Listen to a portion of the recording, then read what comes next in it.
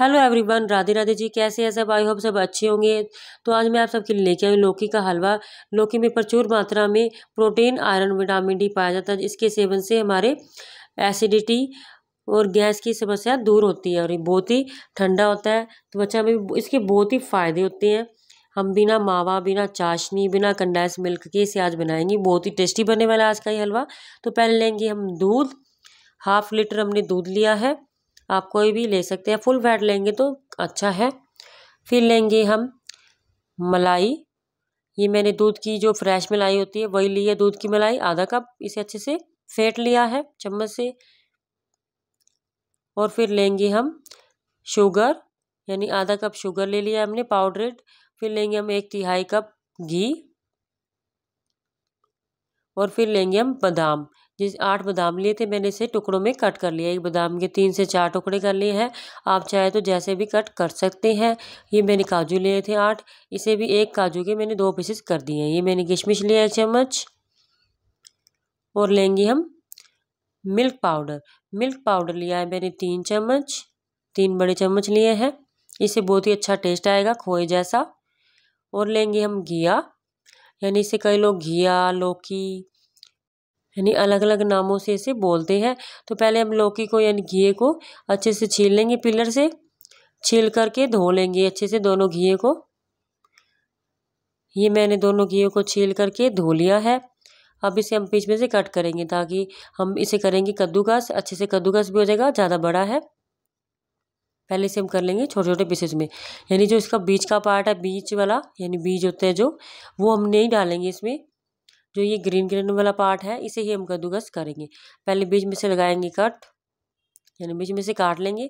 अगर आप बीज निकाल करके काटना चाहते हैं तो आप ऐसे कट कर लीजिए। ये देखेंगे, पहले थोड़ा सा कट करके इतना सा पेस्ट टेस्ट करके देखेंगे कि ये मीठा है या नहीं। कई बार ये कोड़ा भी निकलता है, इसलिए पहले टेस्ट करके ही बनाइएगा।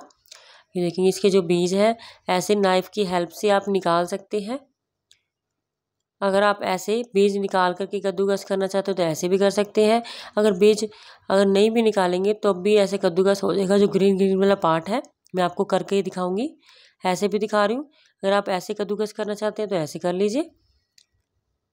कोई भी कद्दूकस ले लेंगे, ना तो ज़्यादा मोटा करेंगे, ना ही ज़्यादा पतला करेंगे। मीडियम साइज़ का हम कद्दूकस यानी ग्रेट कर लेंगे इसे।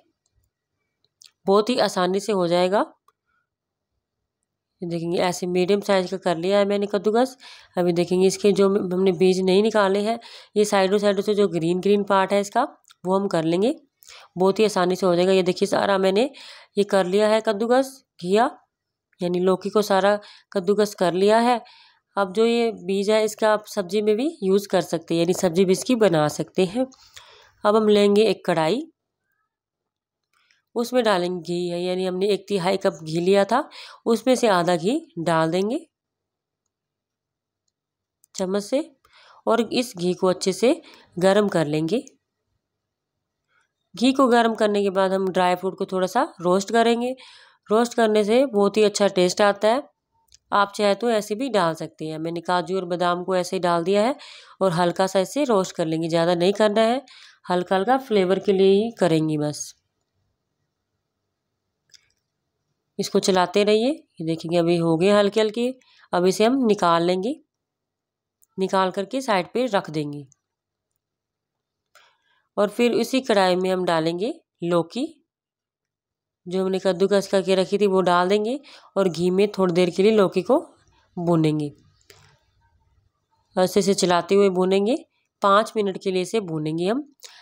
लौकी को पकाते पकाते इसकी क्वांटिटी कम हो जाएगी और थोड़ा सा अच्छा टेस्ट आएगा इसे भूनने से। ये देखिए, पहले से थोड़ी सी लौकी कम लगने लगी है। थोड़ा सा कलर भी इसका चेंज हो गया है, यानी अब ये पक गई अब इसमें हम डालेंगे दूध। दूध डाल देंगे, फिर अच्छे से मिक्स कर देंगे इसे। अच्छे से मिक्स करने के बाद हम गैस को कर देंगे स्लो। और घी को अच्छे से, यानी हलवे को अच्छे से हमने पकाना है। थोड़ी देर बॉईल आने देंगे। थोड़े से बॉईल आने के बाद अच्छे से पहले हिला देंगे। हिलाने के बाद इसे हम ढक कर के पाँच मिनट के लिए पकाएँगे। पाँच से दस मिनट के लिए इसे ढक कर पका देंगे ताकि जो घिया है अच्छे से गल जाए और बीच बीच में ये चलाते रहना है।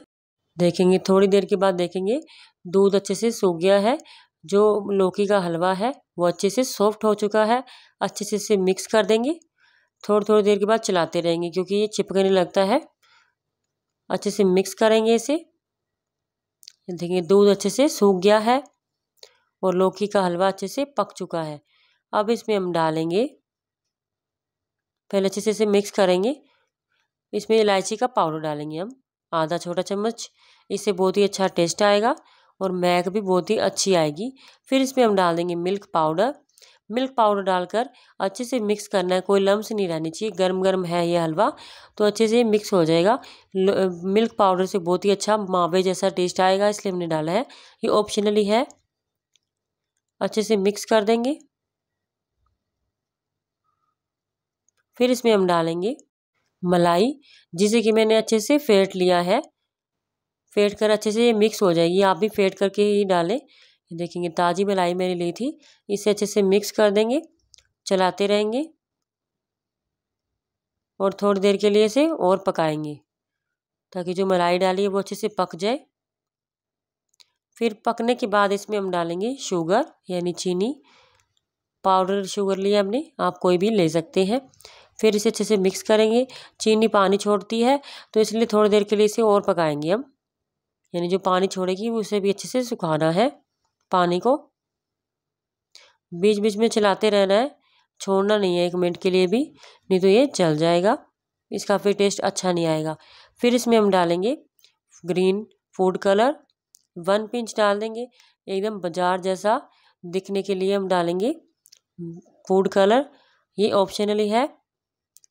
देखेंगे, कलर बिल्कुल नेचुरल लग रहा है इसका। हम ज़्यादा फ़ूड कलर नहीं डालेंगे, हल्का सा ही डाला है हमने। फिर इसमें हम डालेंगे जो रोस्टेड हमने ड्राई फ्रूट करके रखे थे, वो डाल देंगे। मैं इसमें किशमिश डाल रही हूँ। मैं किशमिश फ्राई करना ही भूल गई थी। आप चाहें तो फ्राई कर कर डाल सकते हैं, उसका टेस्ट बहुत ही अच्छा आएगा। फ्राई करके ये किशमिश फूल जाती है तो इसलिए आप फ्राई करके ही डालें। मैं भूल चुकी थी, इसलिए मैंने ऐसे ही डाल दी। अच्छे से मिक्स कर देंगे। जो हमारा बचा हुआ घी था, पहले हमने लिया था एक तिहाई कप। उसी घी में से हमने ये घी लिया है और एक्स्ट्रा घी नहीं लिया है।